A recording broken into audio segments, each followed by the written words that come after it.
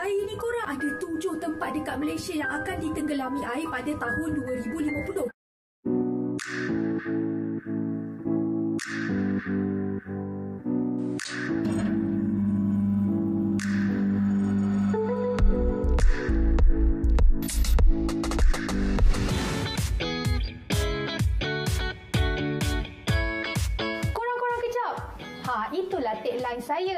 Nama saya Nordiana binti Muhammad, berumur 31 tahun dan tinggal di Kuala Lumpur. Saya adalah seorang content creator di TikTok.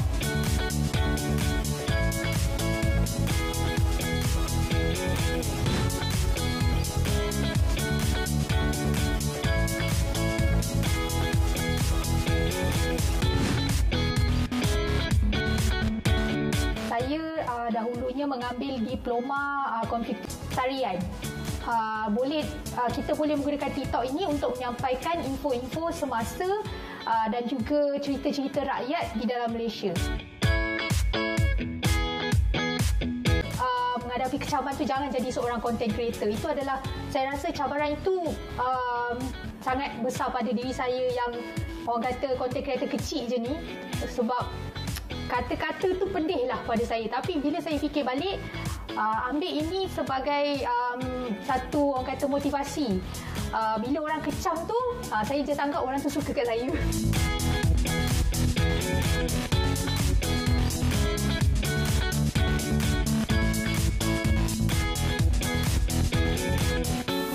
First uh, konten yang paling saya ingat yang viral sampai masuk ke YouTube Ustaz uh, orang kata Ustaz pun respons adalah konten tentang 26 objek aneh di langit. Korang-korang kejap, dunia dah nak kiamat ke korang? Kejadian berlaku pada tahun 1992 di Kelang di mana terdapat 200 orang pelajar serta beberapa orang guru telah melihat 26 objek aneh telah muncul di langit. Part 2, nombor 9, sayap burung berkibar-kibar. Nombor 10, perempuan berwajah babi. Weh, takut. Konten tu memang saya upload pada waktu malam, saya ingat lagi. Kemudian esoknya terus uh, hampir setengah juta view yang saya tak sangka langsung. Uh, komen yang saya dapat pun bermacam-macam. Uh, kata saya, uh, kecam saya tu lagi banyak lah. Uh, itu yang saya cakap. Kecaman tu yang uh, itulah cabaran pertama dalam konten pertama saya yang menerima kecaman yang sangat banyak. Sampai saya rasa saya nak berhenti pun sebenarnya buat TikTok tu.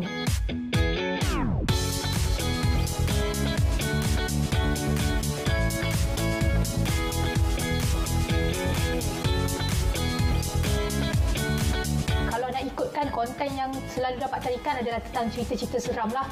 Cerita tentang tempat-tempat yang seram khususnya di dalam Malaysia.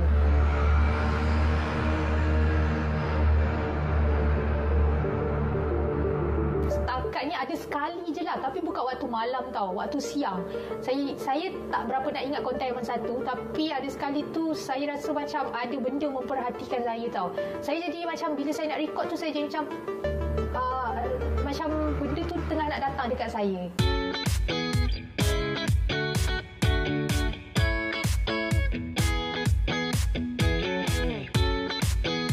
Uh, pada mulanya saya tak ada, jujur saya tak ada target audience. Tapi sekarang target audience saya adalah kepada uh, pelajar. Budak-budak, uh, pelajar lah khususnya sebab uh, macam saya cakap tadi saya nak bagi tahu rakyat Malaysia yang TikTok ni boleh lebih daripada itu. Selain daripada tengok uh, macam tarian ke apa dari TikTok, awak pun boleh dapat informasi terkini, cerita-cerita rakyat. Lagi satu kita ni uh, rakyat Malaysia, Malaysia penuh dengan cerita rakyat. Jadi uh, dan juga sejarah, itu juga yang saya nak tekankan supaya kita jangan lupa pada cerita rakyat dan juga jangan lupa pada sejarah Malaysia.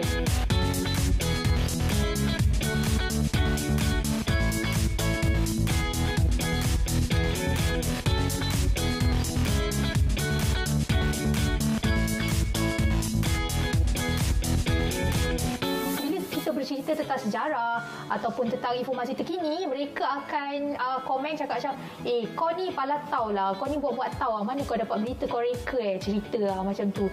Lagi satu saya nak tekankan uh, supaya membaca dahulu uh, selepas awak tengok video sesuatu video. Maksudnya kajilah dulu sebelum tengok video tu. Uh, janganlah terus cakap kecam orang tu. Baca dulu betul ke apa yang dia cakap ni baca. Sebab sekarang ni segalanya di hujung jari di internet. Awak boleh dapat sekali informasi di internet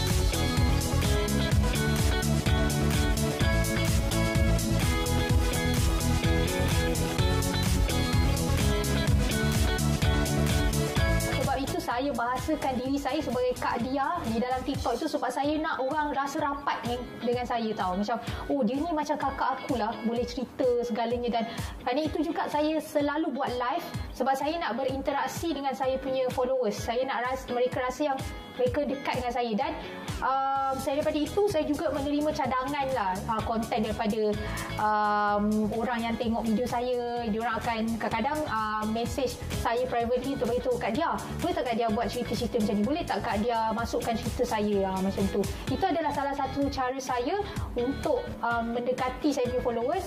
Uh, konten saya juga kadang-kadang lepas saya buat konten saya akan live dan saya akan explain dengan lebih lanjut untuk mereka lebih faham apa maksud sebenar saya di sebalik konten saya Korang-korang kejap, rupanya dekat negeri ni wujudnya manusia yang disumpah menjadi batu. Korang-korang kejap, jangan lalu dekat jalan ni pada waktu malam kalau tak nak kena ganggu. Korang-korang kejap, korang tahu tak ada 10 pantai dekat Malaysia ni yang ada buaya. Cuba korang cek, ada tak pantai yang korang selalu pergi?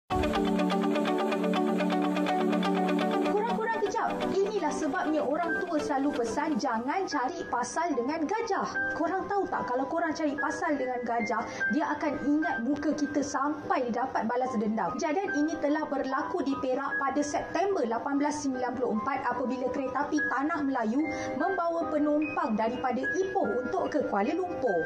Korang-korang kejap. Kalau korang datang negeri Kedah, jangan sesekali duduk dekat hotel ini dan ini adalah sebabnya.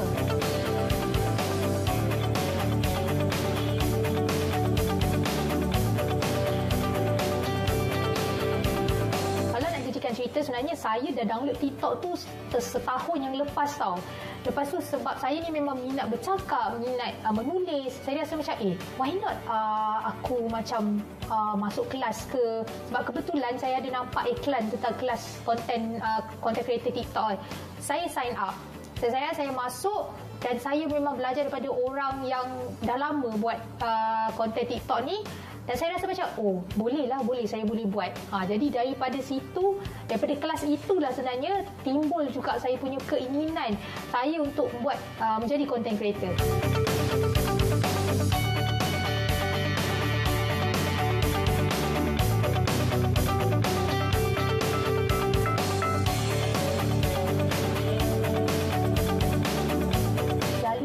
research tu akan mengambil masa dalam masa uh, saya boleh cakap tiga hari lah untuk saya betul-betul baca.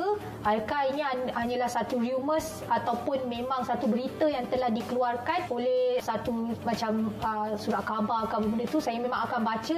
Saya akan ambil daripada various uh, sources tau. Saya tidak akan tertumpu hanya pada satu sources lah. Saya akan ambil kumpul-kumpul dan saya akan jadikan satu uh, dalam satu video lah. Kita memang sangat uh, perlu membuat research dalam apa saja yang kita nak cakap. Sebab kalau tidak uh, apa yang kita cakap kita kena faham apa yang kita letak di internet akan selamanya berada dalam internet. Uh, jadi memang sangat penting buat research supaya orang tidak salah faham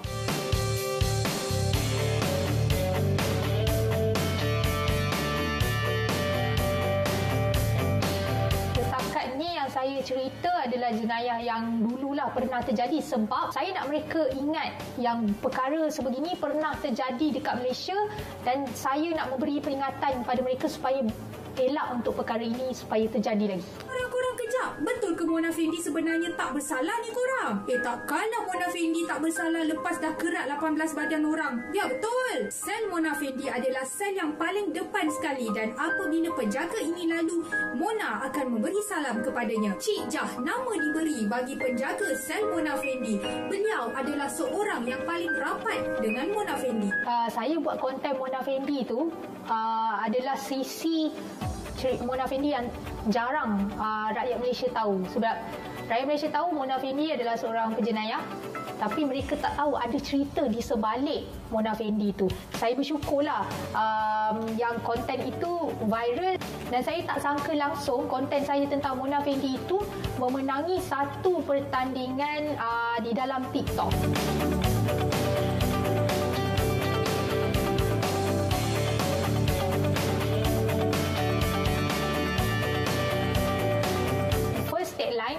Korang-korang kejap Second, saya akan cuba untuk uh, letak dalam 3 atau 4 poin sahaja dalam satu video. Poin yang penting saja dalam satu video, kalau video itu terlampau panjang, saya akan bahagikan kepada dua, part 1 dan part 2. Ha, supaya orang still akan follow. Oh, ada part 1. Oh, kena tengok ni ada part 2. Ha, macam tu. Saya membuatkan viewer saya stick lah dengan saya. Saya terima feedback daripada saya punya followers kata, Kak Dia, Kak Dia boleh tak buat video panjang sikit? Penatlah nak tunggu part 1, part 2.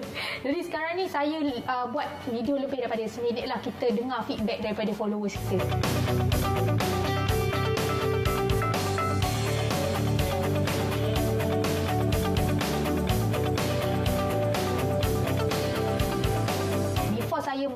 Untuk buat konten ni pun saya ada masuk satu kelas yang bersama dengan orang-orang yang sudah uh, buat konten macam saya.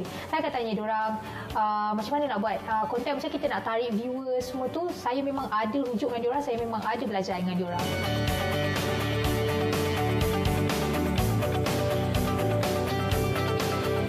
Uh, adalah beberapa produk yang minta saya buat review lah. Contohnya uh, produk pakaian, uh, minyak wangi, makanan dan macam-macam lagi lah.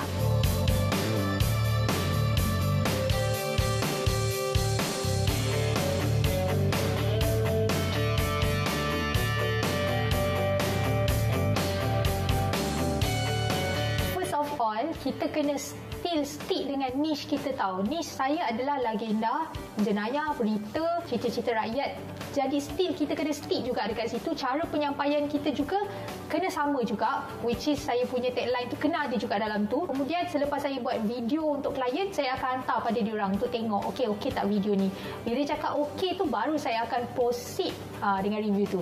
Terbaru saya buat uh, tentang Tasik Mines dekat Seri Kembangan. Di akhir video tu saya ada uh, letak ayat review lah secara indirectly. Orang tengok video sam- saya sampai habis dan juga mendengar review tentang produk tersebut. Korang-korang kejap. Korang tahu tak ada satu tasik dalam Malaysia ni dalam gila sampai korang pun tak akan percaya. Korang tahu tak tasik demas yang terletak dekat Selangor ni sebenarnya sedalam bangunan 52 tingkat iaitu separuh daripada ketinggian KLCC Woi korang selain melombong biji timah untuk menjadi kaya, orang pun boleh membuat income berpuluh ribu dengan join. Cara dia senang je. Tekan link dekat bio kat dia sekarang. Ha, orang Selangor, pernah pergi tak The Minds ni?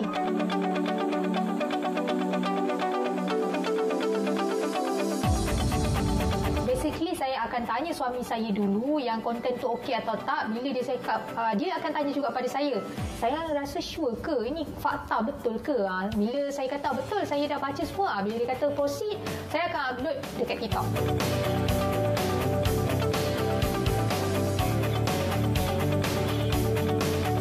saya akan still kekal dengan niche itu cuma mungkin akan ada penambahbaikan daripada segi copywriting daripada segi uh, uh, gambar green screen macam kalau uh, boleh tengok hari itu saya pergi Langkawi saya tidak melepaskan peluang untuk merekod video di sana iaitu di tempat Masuri dan juga di Pulau Daya Bunting. Korang-korang kejap. Akhirnya Kak Dia sampai juga dekat Pulau Daya Bunting. Jom ikut Kak Dia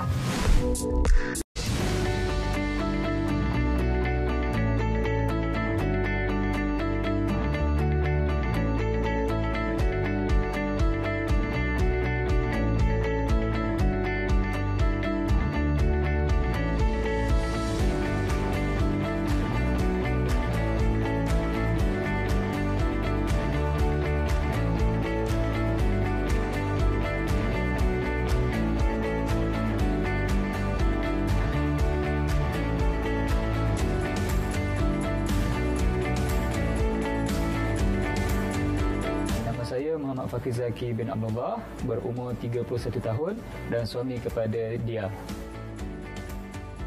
Okey, mula-mula memang tak percaya tapi bila nampak kesungguhan dia hari-hari uh, dia akan apa reserve masa dia untuk ada slot untuk dia buat video memang dia akan dia akan bagi tahu video dia hari-hari uh, bila nampak saya sebagai suami memang memberi apa sahaja galakan uh, apa yang saya boleh bantu saya bantu dari segi bila perlukan masa pembahagian masa bila dia buat video dia perlukan uh, ruang so saya akan jaga anak-anak saya akan bagi sokongan macam tu uh, apa sahaja dia nak buat saya memang bagi sokongan tapi yang penting tak bertentangan dengan syarak. Yang kedua, kalau benda tu berkaitan dengan fakta, saya akan tanya dulu. Betul benda ni betul ke? Memang dah pernah keluar contoh dah pernah keluar berita ke apa? Kalau betul, okey tak apa, teruskan. Uh, saya tak nak benda tu nanti takutlah dia bercerita tapi rupanya bukan fakta.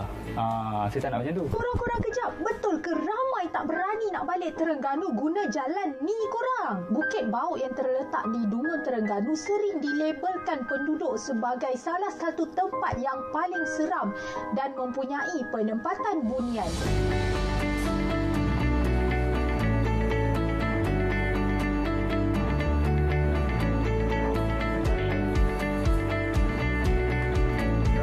Nama saya Raja Muhammad Kuzairi, Raja Umar. Saya dah uh, lebih kurang 25 tahun lah dalam bidang penyiaran.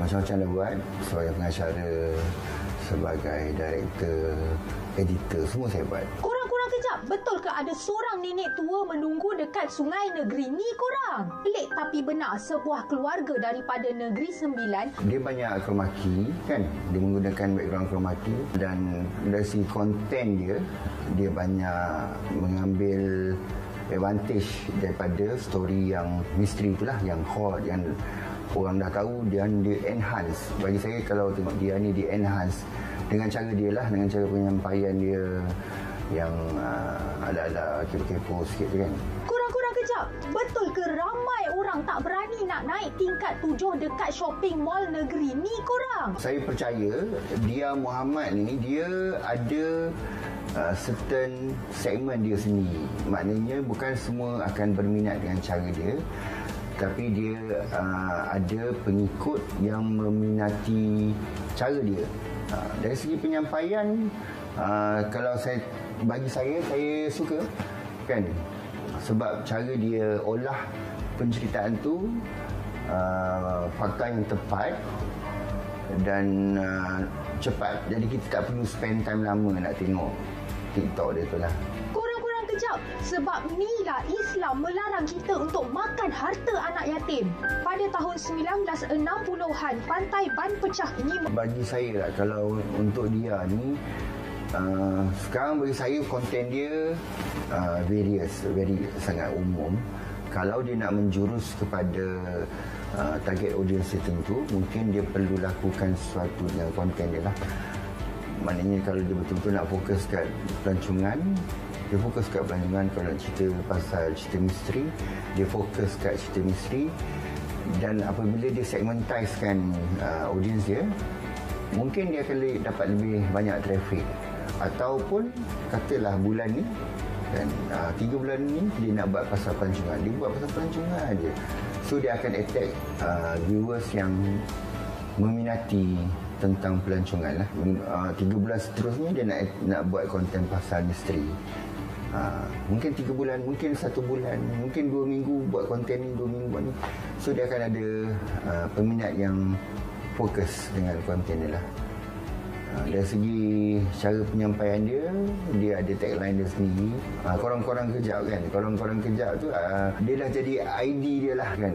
ID untuk dia tu. Bila intro video dia dia pakai korang-korang kejap. Satu inisiatif yang bagus lah sebenarnya Kurang-kurang kejap. Kurang-kurang kejap. Kurang-kurang kejap. Kurang-kurang kejap. Betul ke buaya dekat negeri ni je yang tak makan orang ni korang? Eh, bukan buaya orang ke? Takkan dia dah makan sayur pula? Biar betul. Pada zaman dahulu, Sungai Pahang merupakan sungai yang sibuk dengan aktiviti harian dan antara sungai yang penuh dengan buaya. kalau dia nak satu eksklusiviti tentang uh, konten dia tu mungkin dia buat research tu sendiri lebih banyak lah ada mungkin yang dia buat sendiri kan dia buat sendiri dia call atau dia pergi tempat tu uh, then dia akan uh, ada elemen trust lah so kita sebagai penonton eh boleh percaya ke ni ha, mana dia dapat konten ni Kurang-kurang kejap. Akhirnya Kak Dia sampai juga dekat Pulau Dayang Bukit. Jom ikut Kak Dia. Berita sama korang tahu tak dekat Pulau Dayang Putih ni banyak gila kera yang boleh curi makanan korang. So korang kena simpan makanan macam suami Kak Nia buat ni.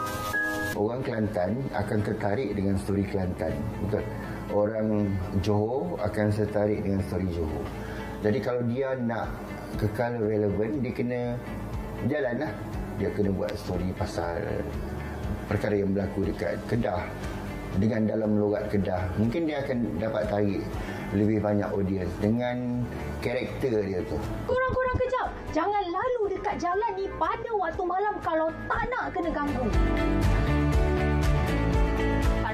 Saya supaya saya sendiri ini boleh meneruskan uh, menyampaikan berita cerita-cerita legenda rakyat di TikTok uh, dan saya ingin ucapkan terima kasih banyak-banyak kepada siapa yang telah menonton video saya. Tanpa korang semua saya tidak akan berada di sini. Terima kasih banyak-banyak